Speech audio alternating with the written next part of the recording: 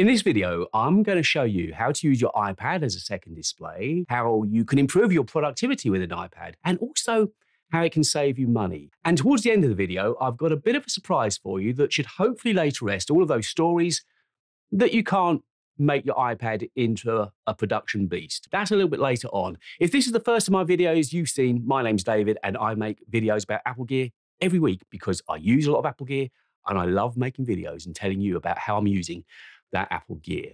Now, the iPad Pro was the first proper iPad that I'd owned. I'd had a couple of iPad minis, but I'd never used them seriously and regularly. The iPad Pro was the first iPad that I'd try to use in my daily workflow. I didn't know how I was going to get on with it. I'd heard all these bad stories about iPad OS and how terrible it was to use, and I wanted to make my own judgments for it. So when I bought it this summer, I wasn't sure if it would fit into my daily workflow. I wasn't sure if I'd enjoy using it. But quickly, I did. It's a different way of working. And I think that is what brought something fresh to me. It was just a different and refreshing way of working. When you pick up an iPad, you know you're going to be working slightly differently with it. I don't ever think it's going to replace a Mac. I never expected it to replace a Mac. I want it to work alongside the Mac, which it's doing ever so well.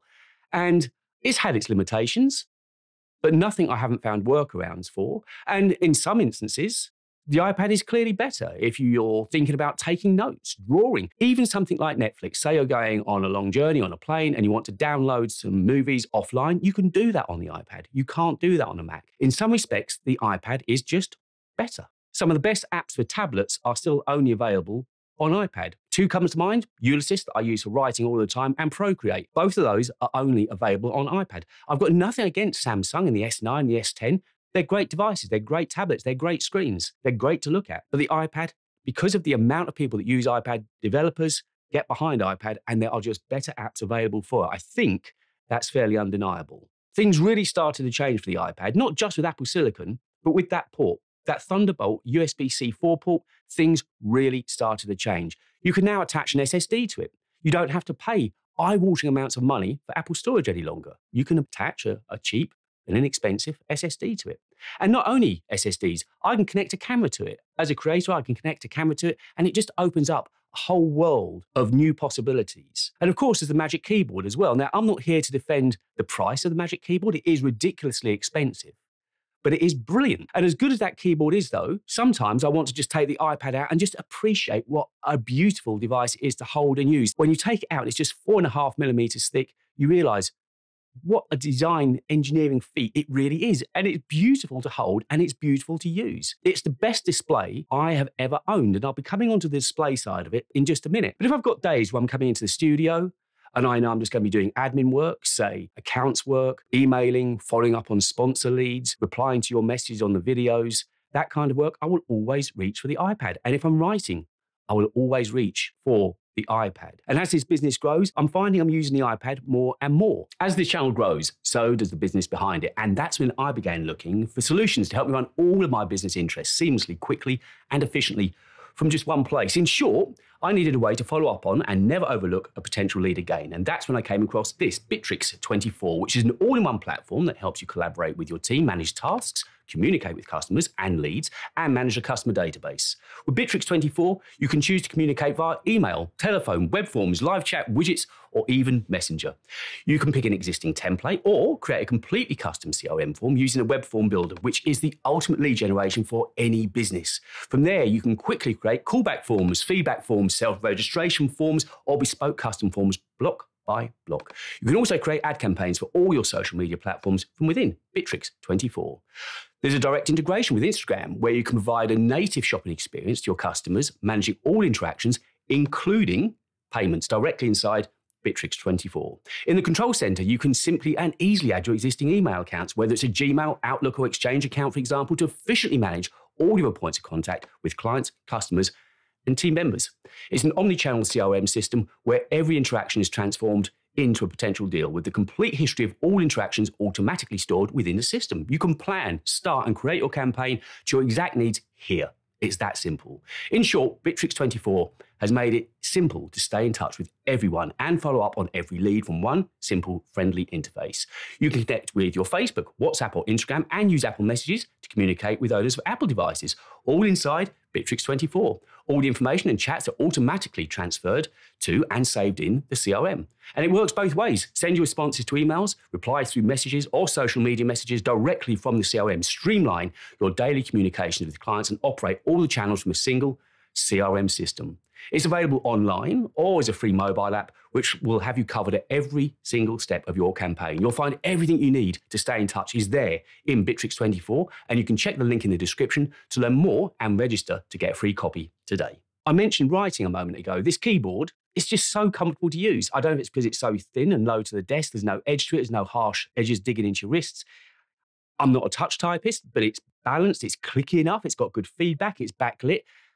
And if you can make somebody like me into a reasonably quick typist, and I'm also more accurate on here, I think that says it all. As I said, it is expensive, but it is a great accessory. And everything combined with the Apple Pencil, the Magic Keyboard, and that port, it just elevates the iPad into levels of productivity that I'd never thought imaginable. So these stories I'd heard that the iPad can't be productive, I don't really buy into. Then we get into the point of multitasking. I'd always heard that you can't multitask on an iPad. I don't really buy it. I think a good example for me is when I'm writing and I need something open, say Safari, to reference things. Well, with split view, I can do just that. I can have two apps open and distraction free, and I can work meaningfully, productively on this iPad. With that keyboard, I'm doing all the work that I could possibly want to do. So that to me is multitasking. I don't know how much more you need to do in a multitasking environment, but that is getting my job done. That is helping me to earn my living. I don't often bring out the term the ecosystem because everybody else uses it, but that's not to deny that it's fantastic. Universal control was one of those brilliant moments. It really was. And when you've got an iPad and universal control and just using one mouse to drag across different devices, it's a match made in heaven. And of course, it's because of universal control that you can then use and control your iPad from your Mac. That's fine. But remember, I said about using it as a second display. With Sidecar, often overlooked, with a couple of clicks I'm showing you here, you can connect your iPad up and have it as a second display. It's doubling up. If you've got a Mac and you need a second display, yes, I love my studio display, but it's £1,500 for basically a display only. Yes, it's got a webcam. Yes, it's got some speakers, but it's basically a display. And I'll tell you what, as much as I love that display, it's not as good as a display on this iPad. It just isn't. I color grade and check every video you see on that iPad. Why? Because it's the most reliable reference that I've got. It is a fantastic fantastic tablet to work on. It, the colors have to be seen to be believed. What they've done with the screen this year is just second to none. I mentioned a short while ago at the top of the video that we were going to talk about save you money, which I think I've done. I was going to talk about how to use it as a second display, which we've done. But I've also mentioned that there was going to be a little bit of a surprise, a little bit of a kicker. Well, here is that surprise. This entire video has been shot on iPhone. Now, I know that's nothing new stick with me, honestly. In front of me is the 16 Pro Max. There is the 15 Pro Max, and that's the 14 Pro. The two Maxes are recording in ProRes log, and they're recording directly to SSDs. The 14 Pro obviously doesn't record in log, but it is recording in ProRes. That luckily has got a terabyte of storage on it, so I'm fine with that. Getting the file off is going to be painful because, of course, that was still Lightning on that phone. So I'm shooting using the Final Cut camera app on these three iPhones, but here's the deal I've recorded this entire video through those iPhones onto the iPad using Final Cut for iPad. And they say you can't be productive on an iPad. Everything you've seen has been recorded in and edited on this iPad. For full transparency, I used an SSD to edit from because at the very end, I had to export the file over to the Mac because we haven't got plugins on the iPad yet. So, for instance, those call to actions, the click now and click for more fresh content. We haven't got those plugins on the iPad yet, but that's the only thing I did on the Mac. Everything else was edited on here. The audio, which I recorded in Adobe Audition, I put that onto the hard drive, I synced it with the video in the iPad, and it just worked. Now, I wasn't as quick, but then again, this was the biggest project that I've ever edited on the iPad, and I was able to do it. The video you are seeing now was completely shot on iPhone and edited on iPad. Surely that has to put to rest that this iPad can't be a production beast. I'd love to know though, how are you using your iPads? How hard are you pushing your iPad? What are you doing on them? Are you a Procreate user, a Photoshop user? Speaking of Photoshop, even the thumbnail you saw for this video that hopefully you liked, hopefully you clicked on, that was edited in Lightroom and in Photoshop on this iPad.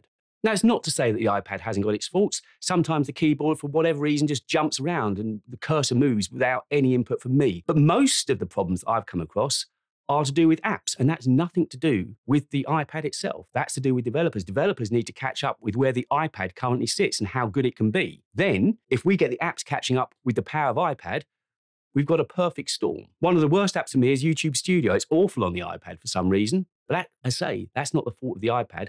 That's the fault of Google and of YouTube.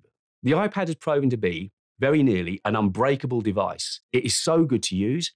It's a wolf in sheep's clothing and it's multi faced. I can do different things on it. I can enjoy it just to sit down on the sofa and watch some content on Netflix if I want to, on Apple TV. But then I can bring it here, record and edit a full 4K video with three cameras and audio.